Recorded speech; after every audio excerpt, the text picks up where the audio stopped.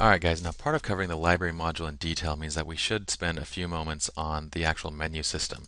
Now I don't want to spend too long on the menu system because basically what you see for the most part in the menu is just duplication of all the different functionality in the actual module itself. And every module actually has a different menu. So if I click on develop, you'll see that the menu is actually going to change. Alright, so let's go through each one of these menus and we're going to cover each one in a separate video. And really the only thing that we're going to talk about is just the stuff that we're not going to be covering in the actual module content. So things that are notable and things that you can only find or only access from these menus are what we're going to discuss. So let's start first with the file menu. Now in the file menu, really the first notable item that we haven't covered or aren't going to cover in detail is this optimized catalog.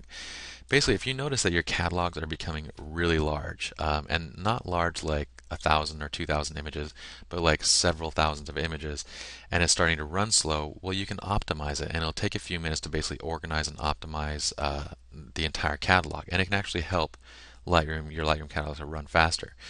And there is a warning that says that you will be unable to use, use Lightroom during this process. So just remember that. So if you hit optimize, it'll start the process.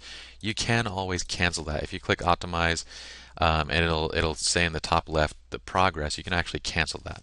Now my catalog is tiny right now because we're just using the tutorial catalog. So instantly it said your catalog's been optimized and we're good. All right, back in the file, the next item that's worth mentioning is this plugin manager.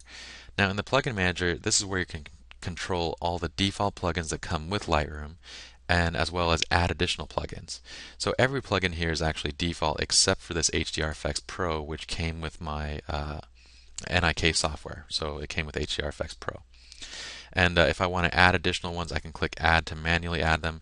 Typically, when you're installing additional programs that support Lightroom plugins, it will install those plugins for you. But if you do ever want to disable one of these plugins, oh, this Photo, Photomatix one is also not a default one. This is one of the HDR Photomatix soft uh, plugins.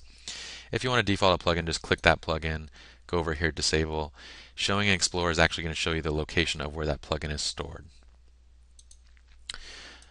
Alright, now plugin extras is actually going to give you some uh, options uh, that come with those plugins to actually, you know, just it depends on the functionality of those plugins. So right here we see an option, the plugin extras to export to Photomatix Pro, which will take my selection and export it and prepare it for Photomatix.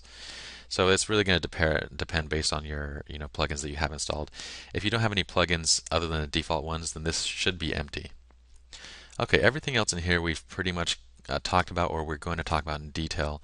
One of the things that we haven't mentioned, these print uh, settings right here, print and page setup, are just going to take you to the print module, and we're going to cover that later. Alright, so let's go on to the edit menu.